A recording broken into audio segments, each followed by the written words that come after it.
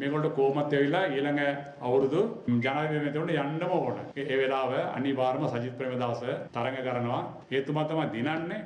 මොකද හේතුව එතුමත් එක්ක සුළු ජාති පක්ෂ ඔක්කොම ඈත ඉන්නවා. සිංහල ජනතාව ඈත තියෙනවා. මම එකක් කියන්න පුළුවන් මේ රටේ ජනතාවට එතුමා විලා හොරකම් කරන්නේ. මං හිතන්නේ විශාල කැරල්ලක්. ආපු අර ගෝඨාභය රාජපක්ෂට පැනලා දුවන්න වෙච්ච වගේ එක නෙමෙයි ඊට වඩා විශාල ජනතා කැරල්ලක් ඇති වෙන්න කල් මං හිතන්නේ උදා වෙමින් පවතිනවා. අපේ අමාත්‍යංශය යටතේ සයිබ ආරක්ෂණ පනත මේ වර්ෂය තුළදී ගෙනෙන්න කටයුතු කරනවා. අභ්‍යන්තර ආරක්ෂක අමාත්‍යංශය යටතේ තමයි ඔය ඔන්ලයින් පනත ක්‍රියාත්මක කරන්නේ. ඉදිරියේදී සංශෝධනත් සමග ඒක රටට ගැලපෙන ආකාරයේ දේශපාලන වශයෙන්වත් ප්‍රජාතන්ත්‍රවාදී වශයෙන්වත් බාධාවක් නැතිවන ආකාරයට කටයුතු කරොත් ඒකට ගැටලුවක් වෙන්නේ නැහැ. ඒගොල්ලෝ හිතනවා ජීවිතය තමයි ඔක්කොම එකයි මුන්ටත් දුන්න අරුන්ටත් දීලා දැන් ඒකද මුන්ට දීලා බලමු. එදාට මිනිස්සු කියයි අපෝ ඊට වඩා හොඳයි ගෝඨාභය කියන.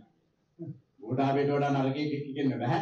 නමුත් ඊට වඩා නරක වෙනවා. ඒ නිසා ඒගොල්ලන්ටත් ඕනේ ආණ්ඩුවක්. ඒගොල්ලෝ ඕනේ විපක්ෂ નાයකකම විතරක්. දුම්කොළ සමාගමේ සභාපති දාලා තියෙනවා ඒක ආයතනයක් හදලා මේ රාජ්‍ය ආයතන විකුණන්. ඒකෙන් හඳුනාගෙන තියෙනවා ආයතන 85 මේ මර්මස්ථාන ටික විකුණන්. කිරිගෝපල වල ටික විකුණන්. අර යන යකා කොරහත් බින්දගෙන ගියා වගේ එන මිනිහෙකුටවත් හදන්න බැරි මේක චප්ප කරපු චොප්ප වෙච්ච රාජ්‍යයක් තමයි මේ නිර්මාණය කරන්න හදන්නේ රනිල් වික්‍රමසිංහ. රටේ ලෝකෙ සිදුවන උණුසුම් පුවත් දැනගන්න සියත නිවස් YouTube channel එක අදම subscribe කරන්න.